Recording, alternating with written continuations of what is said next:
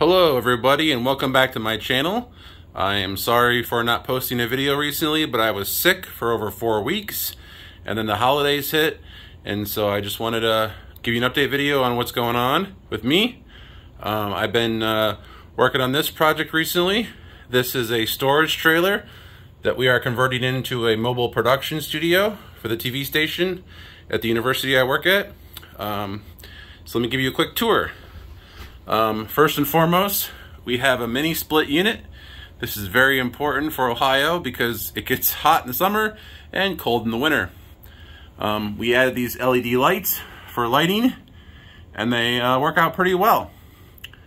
So the heart of the system is a custom PC running vMix. It has six inputs and two outputs for video.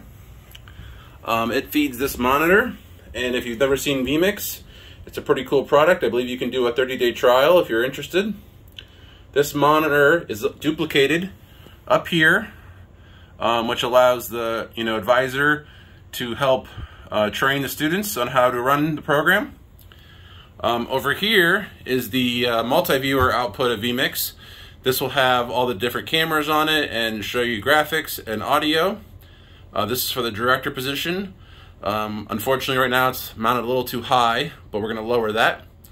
Um, down here is the director's position. The director will run audio and actually switch to video. Um, so this is a Behringer audio mixer, and it is connected via USB to the vMix machine. This is a Stream Deck, and this allows the director to switch cameras, put the score bug in and out, um, and roll breaks. Um, here's a speaker that the talent, so he can hear the talent.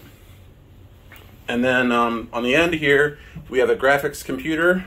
Um, it's a MacBook Air running some software called Production Truck that outputs graphics um, via IP to the vMix machine.